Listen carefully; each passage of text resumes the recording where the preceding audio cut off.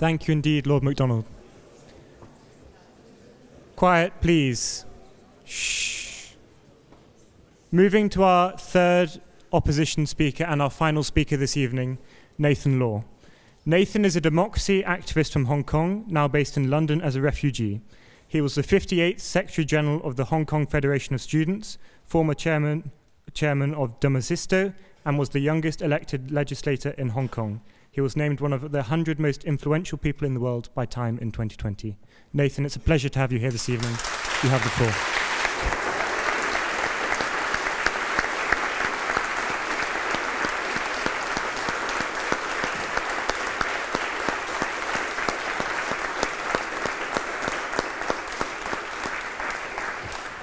Good evening, ladies and gentlemen, and anyone who not bound up by them. Um, very much lovely to see you all tonight. Um, I pretty much agree with what Lord MacDonald has said. Uh, we should find common ground. There's one common ground of me with some of the honourable gentlemen on the other aisle, which I would wholeheartedly hope that there will be a betterment in the lives of Chinese people. So I supported the White Paper Revolution. So I supported all the movement that they seek for justice and freedom. And so do I mourn the fallens in Tiananmen massacre, where these brilliant young people, they protested in 1989 just for the democracy and anti-corruption efforts in mainland China. So for me, there are some fundamental principles that we share. I hope the people of China could be like me to be elected at such a young age, at the age of 23, and to represent the people. But at the end of the day, they are unable to do so because they are being ruled by a tyranny. In this formal setting, it, it, sounds familiar with me because I served um, in Hong Kong's parliament for a very short while. And before that, I was a student leader. In 2014, I led uh, the Umbrella Movement, a wonderful civil disobedience movement, where hundreds of thousands of Hong Kong people marched down to the streets and occupied the major runway in order to demand for democracy. In the 1980s, when the British government was doing their colonial retreat, they negotiated a contract, a, a, a treaty with the Chinese government, saying that after the handover taking place in 1997, Hong Kong would enjoy freedom, democracy, and autonomy. But Beijing violated all these promises. There's never been any significant process on democracy. And the British government, as the single and only guarantor, said nothing in 2014 when we had this massive disobedience movement. They abandoned the Hong Kong people. They said nothing. And that to me was fear. For me, I'm, I'm, i have to apologize uh, myself to my previous speakers because I'm, I'm going to disrupt the line of defense. I'm going to propose an unorthodox definition of fear, and it would probably be interrupting my position. But I believe that fear is a form of submission. Fear is a form of weakness. And it demonstrated, not now, but decades ago, when the British government uplift the sanctions over China in a short-lived uh, period after 1989 Tiananmen massacre, and they adopted the appeasement strategy. And in 2014, we saw the Cameron government was too weak.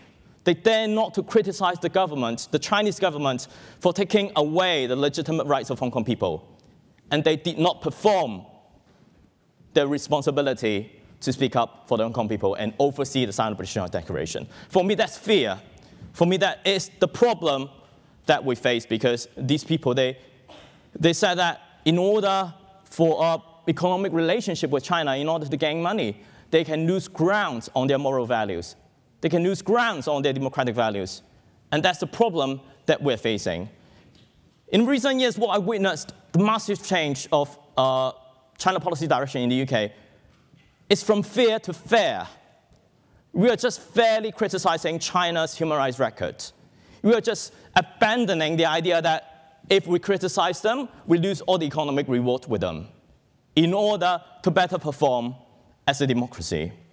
In 2019, when there was a big, massive uh, uh, protest happening in Hong Kong, two million people marched down to the street, more than a quarter of the population, and the British government sent numerous condemnation to the Chinese government, accusing them of violating the treaty promise in the Sino-British Joint Declaration. For me, that's the right act to do.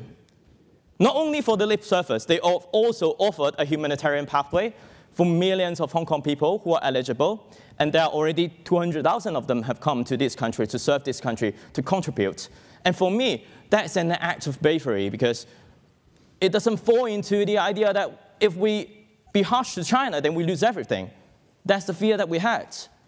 And for the Uyghurs population, millions of people being locked in concentration camp, we've got testimonies, we've got hearings, we've got tribunal to look at all the facts and look at all the testimonies from brave people like Rahima. And that's exactly what we need. So for me, uh, it's a bit difficult for me to conceptualize today's uh, motion, and pardon me if I make any confusion in, in, in my speech. But I do believe that we have to see China as a systematic competitor and a threat to our, to our democratic values. And that is my baseline. For me, being able to speak here is such a privilege because most of the colleagues I work with, they are all in jail. And, and it's disheartening because last time I was here in the Cambridge Union, it was five years ago, I was still with one of the greatest um, uh, democratic veterans in, in Hong Kong, and one of them, they are serving jail in Hong Kong, probably more than decades because they organized a primary election, which in every country, in, in every um, democratic countries, we do have demo, uh, these primaries. They are in jail just exercise the rights and the power that you are born with and that you are enjoying now. So for me, this is this is not just a debate. Like, to be honest, I, I don't really care about the result because for me, I'm here to represent my people. I'm here, to serve my people. I'm not here to serve the motion or the need of you guys attending in a chilling night listening to some folks talking about um, some noble affairs. Like, this is about me and my, and my family and my people. But at the end of the day, we, we have to look at what, what well, there are lots of things that uh, the opposition, uh, sorry, the, the, the, the, gentleman on, on the opposite side aisle. Let's talk about China. And one thing that I have to mention is um, China indeed has a lot of ambition in overturning our global order and the rights that we are enjoying. Two years ago, I was invited to attend uh, Biden administration's Summit for Democracy. I, I, was the sole representative from Hong Kong, and I talked about democratic recession. And the week before that, the Chinese government had a press con. They wrote out a white paper saying that China is the democracy that works. Uh, that, that really reminded me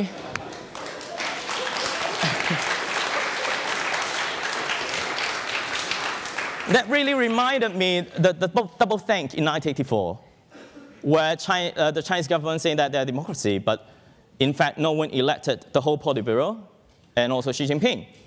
They said that they enjoy the freedom of speech. Uh, but in reality, I saw some um, Chinese idiom online that says that, yes, you do have freedom of speech in mainland China, but only once. Because after that, you're going to jail. and, and, and it reminds me of the, the gentleman on the opposite, opposite aisle. I, I, well, I, I, was thinking, wow, that, that was remarkable. You need to have a disclaimer before you debate. In a free society, isn't that, isn't, isn't that a bit like a sense of the, the, the, the, the transnational repression of China on, in, in operation? Um, and also, they claim themselves having rule of law, where um, the law in mainland China is only for the people. Uh, they do not limit the power of the government, and that is not the definition of rule of law according to our international, international standards. They roll out that, and they said that, look, we are better than the UK, we're better than the US, we're better than the rest of democracies in the world. Um, we've heard a lot of what, whataboutism, relativism, bad things about UK and bad things about US. Some of them are, are definitely true. I, I, do agree with that, but, but this is not the point of tonight.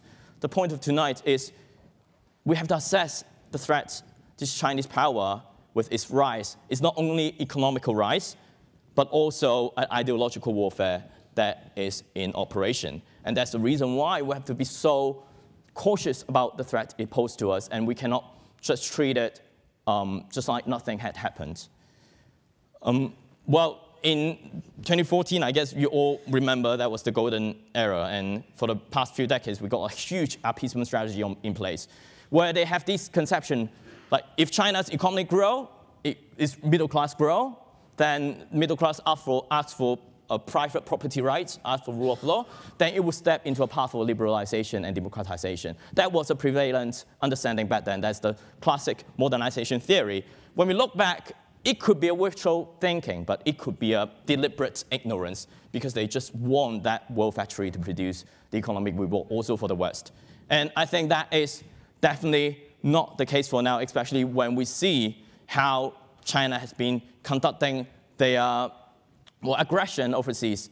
And I heard Professor Zhang talk about his time in China. Yes, there was a time in China that things were looking good. Like it was in the early 20s, like it was up until to the Beijing Olympic before Xi Jinping came into power. When Xi Jinping came into power, he rolled out all sorts of policies like um, um, the seven things that you don't talk in mainland China, foreign NGO laws, all, all sorts of things that roll back the whole civil society development uh, that the Chinese people um, wholeheartedly and hardworkingly achieved in a decade or two.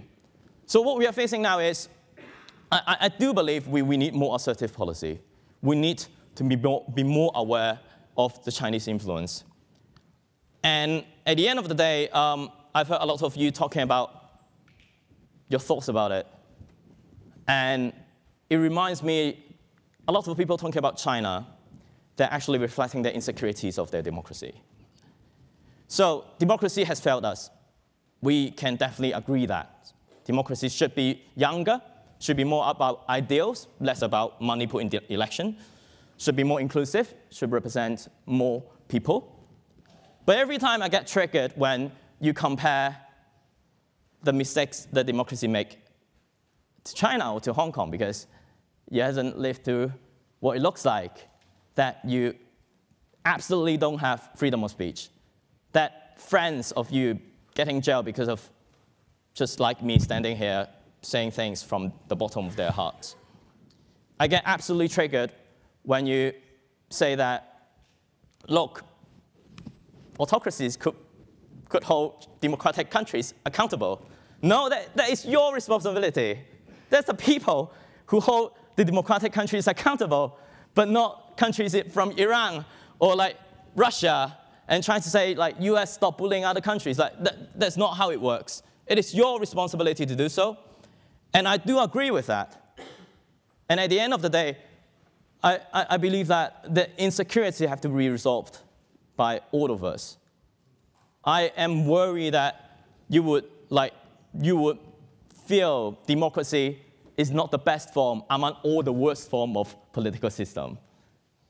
Uh, please? Um, so, I, I, so I'm, I'm not expressing this in opposition to your point, but I would like, since you said you're here to represent the people, I would like to hear you shed some light on a few terms. So I would like to hear your definition of blue ribbon, on yellow ribbon, and what they are, and I would like you to share with the House uh, what each term means within the political movement. Well, I appreciate your effort, but I think it's rather difficult to, for the whole audience to get into the context of that. But I'm merely saying that I was elected in 2016 and I was carrying a lot of goodwill of the democratic movement in Hong Kong and I surely cannot represent all people, just like any politicians in the world. Um, but I do believe that I have significant support. Um, thank you so much for your point of order. Um, for us, it's indeed troubling that democracy does, do not perform, and, and I am worried that we lose faith in it. So my answer is, well, being here, listening, um, cultivating sympathy, understanding both sides, and make your uh, logical judgment. And as I said, I, I'm just a passerby. I, I, I'm a, I'm a terrible debater, so I'm, I'm not even debating for the, in, in, in the sense of my notion as if um, I truly believe that we, we need to fear. Uh, fear is not good for me. I, I don't fear anyone. I, I, fear death. I fear a lot of things, but I don't fear the Chinese Communist Party because we have to be brave to counter them. And that's the point. Um, for me, as we all are here, I'm very grateful to meet all of you. If you want to take away one thing from tonight's debate, I, I want you to be to feel personal about our, the encounterings of Hong Kongers, feel personal about the encountering of Rahima, because this is what happened if we let an unchecked government to act according to their will. And by doing so, you are supporting us, supporting our cause, and um, the democratic struggles that we have. So once again, thank you so much. Um, and even though I said I don't care about the result, but I would appreciate that if, if you. no, if, if, if you believe that we should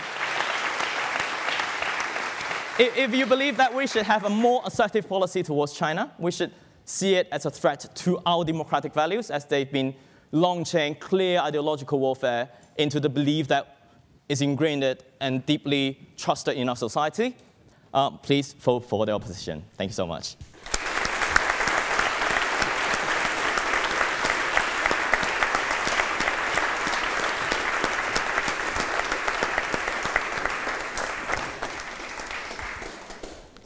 Thank you, Nathan. And that concludes our debate for tonight. Um, as a reminder, tomorrow at 5.30 we host Stella Assange, and on Sunday we're joined by Sandi Toksvig. Um, could the tellers please take their positions? As you know, in this House we vote with our feet, ayes to the right and noes to the left, abstentions down the middle. Um, please do go vote. Results will be announced in the bar. Thank you.